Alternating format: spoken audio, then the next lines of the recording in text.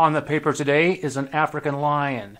Um, I'm kind of in a cat mode right now, so I thought I'd try something a little bit different. So let's do a little tutorial here, but before we get to it, we're going to talk about lions and give you a few lion facts here. Lions are the only cats that live in groups. A group, or pride, can be up to 30 lions depending on how much food and water is available. Female lions are the main hunters. While they're out looking for food, the males guard the pride's territory and their young. A lion's roar can be heard up to 8 kilometers away. Lions scent mark their territory using their wee to create a border. Uh, African lions are mostly found in sub Saharan Africa. They used to be found all over Africa, but now they have been mostly disappeared from North Africa and are at risk for extinction in West Africa.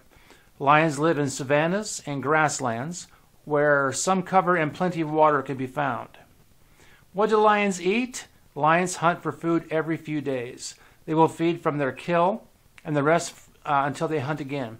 We uh, follow this pattern in zoos as our lions, not my lions, uh, have two have two starve days out of seven.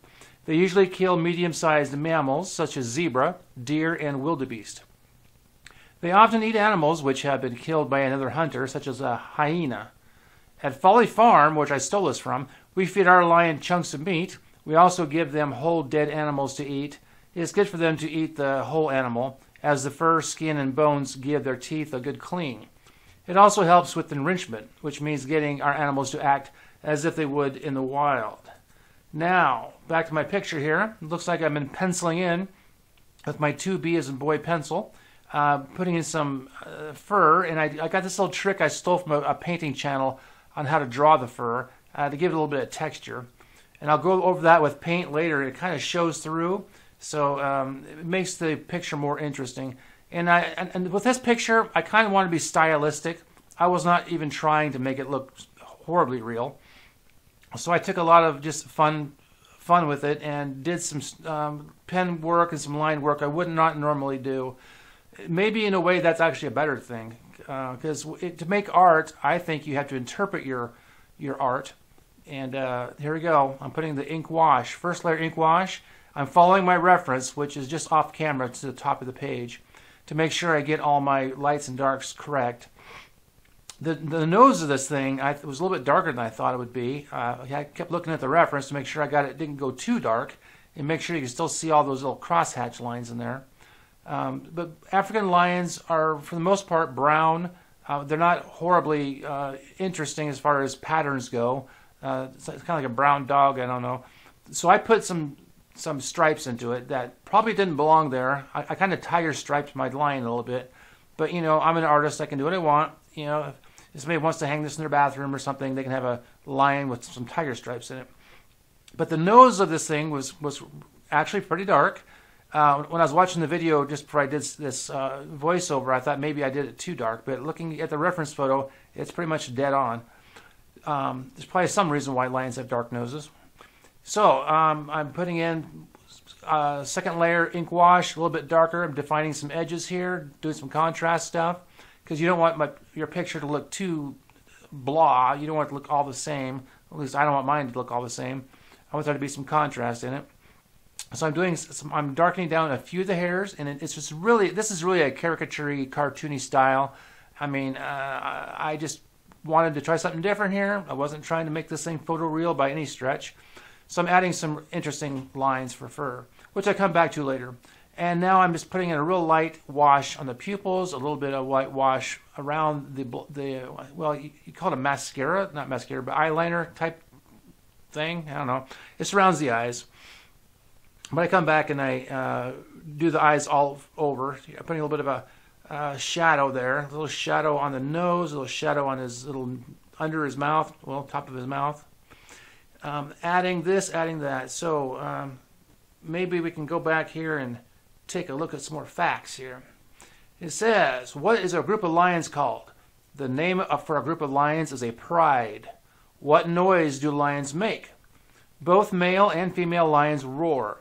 They usually start off with a few long, deep roars, followed by shorter, faster ones. Lions also make other noises. They meow, hiss, and snarl like domestic cats, but louder. Do all lions look the same? Male lions are much bigger than females, and they have large manes or hair which covers the head and neck and stretches underneath to their belly. Lion cubs have light spots uh, uh, where their fur, on their fur when they are born. These fade when they grow up and help camouflage or hide them when they're young. Uh, let's see, how many types of lions are there? Well, there's a bunch. Ready? Barbary, Asiatic, West African, Mazaya or Mazai, Congo, Southwest African, Transvaal with two A's, and Ethiopian. And how long do lions sleep for? Lions are the laziest of all big cats. They can sleep for 16 to 20 hours a day. Uh, how many babies can they have? A lioness usually gives birth to, to between one to four lion babies. Uh, that's interesting. What are we back here in the video? What are we doing? Oh, I put in color on. And my burnt umber actually matched the uh, lion pretty good. I didn't have to do much to it, but just add some water to it and thin it down. Um, this is the underpainting style, so all of my pencil lines are going to show up through this. Uh, it's kind of a cheap and easy way to do texture, and I suggest everybody try it because it, it's it's it, it, will make your painting much easier. Uh, why would you not want to do this? I don't know. But you put your, your, your pencil lines in first, reasonably dark, Oh, here I'm putting a little bit of highlight right there. Uh, I, I mixed a little bit of white, but not much. Now I'm going to go through and add some of these little lighter colored burnt umber um, areas to the fur to kind of give it some more texture, some more highlights. Like, you know, kind of like went to the Lion Beauty Salon and got some highlights done. Because um, this lion, well, it's a male lion, so it's probably not going to be going to a, a beauty pageant. But um, I'm adding some more whites here, making it variegated. Is that the right word? I think we use the word variegated on plants, but maybe you can variegate a lion as well. Oh, guys, before I put that, oh, here comes the eyes. I decided to make his eyes red. Lion's eyes are not red, but my lion's eyes are red.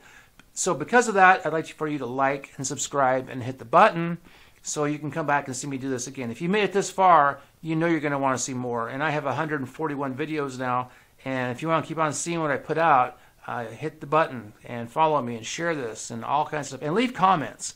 Comments, comments, comments. I got one fan who leaves a comment a lot and a couple that leaves a few. But I love to re read what you guys have to say. I want to know if you guys try this underpainting or if, if you just watch this for the um, entertainment value. I mean, I don't watch it to learn. I watch it for the entertainment value because I think it's fun to watch. Uh, like I said before, I watch um, videos of people doing stuff I would never do, like wood turning and and making sculptures and stuff. I don't do that stuff, but I love to watch people do it. So I think it's kind of cool to watch somebody paint and different styles, you know. And I I watch painting videos all the time. I see lots of oil painters, a lot of acrylic painters, a lot of water, watercolor painters, but I don't see anybody who does what I do with the underpainting technique. So like and subscribe, like and subscribe, and I'm going to say my name, Keith Trimm, and thank you for coming.